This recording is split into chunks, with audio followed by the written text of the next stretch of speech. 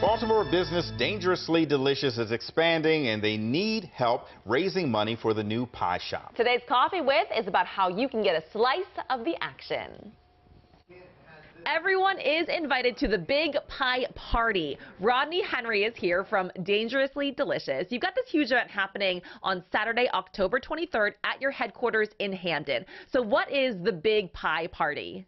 Well, basically, it's like a, we're trying to sell as much pie and you know awesome stuff. Like having a flea market. It's all the proceeds. We're opening a, a like a honky tonk sort of joint in D.C.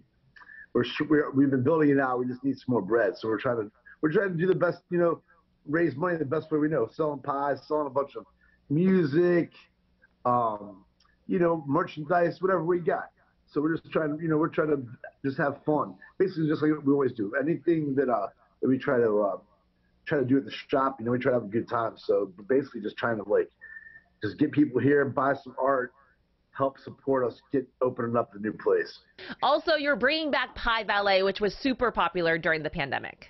Yes, Pie Valet is awesome. Um, just it get you know when you first started doing like when the pandemic first hit, it was awesome. That's all we could do. I mean, really was to keep to sustain ourselves was getting pies out to the people, and it was awesome. And the way things are now, man, people really uh, still want to do the Pie Valet. We just kind of had to tweak a little bit to get a little uh, a little more streamlined. Rodney, have fun at the party, and thanks so much for talking to us today.